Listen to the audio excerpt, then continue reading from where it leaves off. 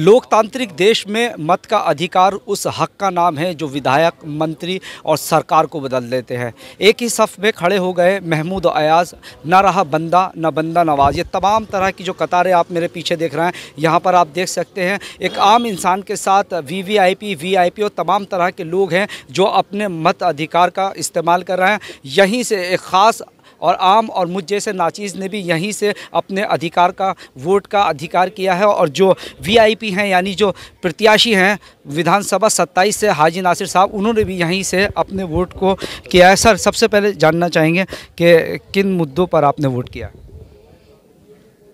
देखिए, मैंने क्या वोट किया मैंने तो विकास के ही मुद्दों पर वोट किया और मैं चुनाव लड़ रहा हूँ, प्रत्याशी हूँ, देहात विधानसभा सत्ताईस से। मेरी पहली प्राथमिकता विकास की होगी। और देहात विधानसभा सत्ताईस पिछड़ी विधानसभा है ग्रामीण विधानसभा है उसमें विकास की जो भी आवश्यकता होगी वो पूरी कराई जाएगी। लगातार आप वोटरों से मिल रहे हैं वोटर किन मुद्दों के आधार पर वोट कर रहे हैं? जी? वोटर किन मुद्दों के आधार पर वोट कर रहे हैं? आपकी लगातार बात हो रही है।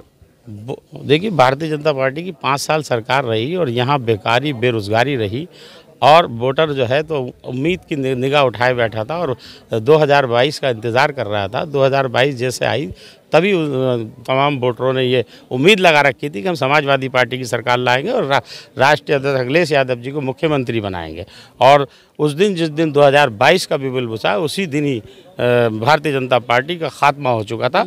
और आज ये लंबी लंबी कतारें ये इस बात का प्रमाण है ये बता रही हैं कि समाजवादी पार्टी की सरकार आ रही है और यहाँ जनपद मुरादाबाद के अंदर छः की छः सीटें समाजवादी पार्टी जीतने का काम कर रही है। की सत्ताईस देहात विधानसभा सीट पर बात करें तो पहले कयास लगाया जा रहा था सीधा मुकाबला भाजपा और सपा के बीच में। बीच में प्रियंका गांधी वाड्रा यहाँ पर आई तो माहौल बदलने की कोशिश की। किस तरह का माहौल है किसके बीच मुकाबला मानते हैं आप? देखिए अभी दिन के दो बजे हैं और अभी तक 45 परसेंट जो है पोलिंग हो चुकी है। और आप ये देखिए कि लंबी लंबी कतारें लग रही हैं। कहाँ किसी से मुकाबला है? हम तो सीट जीत चुके हैं और सीट जीत चुके हैं तो किसी से मुकाबला बचा ही नहीं है तो इन देहात विधानसभा सत्ताईस तो हम जीत चुके बहुत भारी बहुमत से और इन सीट जीतने के बाद समाजवादी पार्टी की सरकार बनने के बाद और अखिलेश यादव जी मुख्यमंत्री बनने के बाद जो भी यहाँ देहात विधानसभा सत्ताईस में विकास कार्य होंगे, उनको कराने का काम किया जाएगा। विकास के मुद्दे पर ही हम चुनाव लड़ रहे हैं मुरादाबाद में सुबह सात बजे से वोटिंग हो रही है। प्रशासन की तरह किस तरीके से तैयारी देखी तो? और जो चुनाव आयोग के इंस्ट्रक्शन थे, उसको फॉलो किया जा रहा? देखिए, जो जो चुनाव आयोग के जो भी पालन था, उसको तो किया जा रहा है।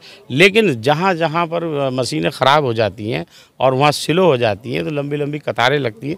काफ़ी टाइम में मशीनें बदली जाती हैं, लेकिन जहाँ ज़िले के डीएम साहब से एक दो बार मशीन ख़राब हुई, मैंने बात की तो तुरंत बदल गई, लेकिन जब तक अधिकारी से कोई बात नहीं होती, जब तक काम नहीं हो पाता है और कतारें लगी रहती हैं और स्लो जो है मशीन बहुत चल रही हैं।